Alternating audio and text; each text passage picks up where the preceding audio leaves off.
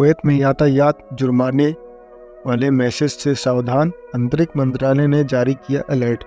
असलम भाई लोग, इस वीडियो में आप लोगों को बताऊँगा मैं कि जो लोग सोशल मीडिया का यूज़ करते हैं और उन पे एसएमएस का मैसेज आता है उनके पास कि मैं इतने में भुगतान करा दूँगा, या इतने मेरे, मेरा फ़ाइन कम हो जाएगा, इतने में आपका फ़ाइन कम लगेगा।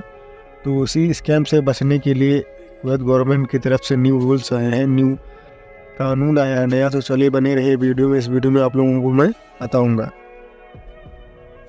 सोशल मीडिया पर शेयर की जाने वाली सभी खबरें नहीं, सभी खबरें नहीं होती हैं सही। सोशल मीडिया पर शेयर की जाने वाली सभी तरह के मैसेज पर यकीन करने की ज़रूरत नहीं है, क्योंकि कई ऐसे मैसेज होते हैं जो लोगों को ठगने के लिए शेयर किया जाता है। सोशल मीडिया के ज़रिए तेज़ी से साइबर अपराध की घटनाएँ बढ़ रही हैं।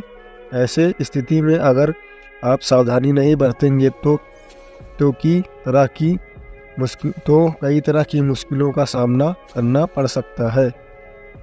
कुवैत अंतरिक्ष मंत्रालय ने जारी किया अलर्ट, बताते चलें कि कुवैत अंतरिक्ष मंत्रालय के द्वारा यह जानकारी दी गई है कि अवैध सूत्रों पर भरोसा करना आपके लिए खतरनाक साबित हो सकता है। यातायात जुर्माना भरने को लेकर भेजे जा रहा है मैसेज फ्रॉड। तो भाई ये जो यातायात का जुर्माना है, इसमें जो वो जिनको फ़ाइन भरना रहता है, उनके पास फ्रॉड मैसेज जाता है कि मैं इतना फ़ाइन कम करवा दूँगा उतना फ़ाइन कम करवा दूँगा। तो लोगों के चक्कर में मत पड़िए और सोशल मीडिया की मैसेज जो अवैध फ्रॉड मैसेज रहते हो सावधान रहते, सावधान रहिए। चलिए आगे और वीडियो में आप लोगों को बताते हैं।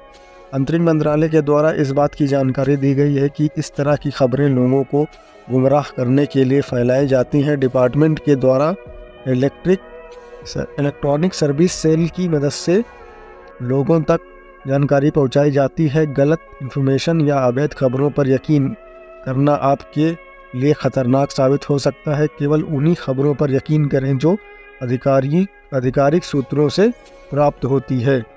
तो भाई, इसके पहले भी आपने वो वीडियो में बताया था मैं कि सेल ऐप है, वहाँ पे आपको ओरिजिनल जानकारी मिलती है ओरिजिनल सब कुछ मिल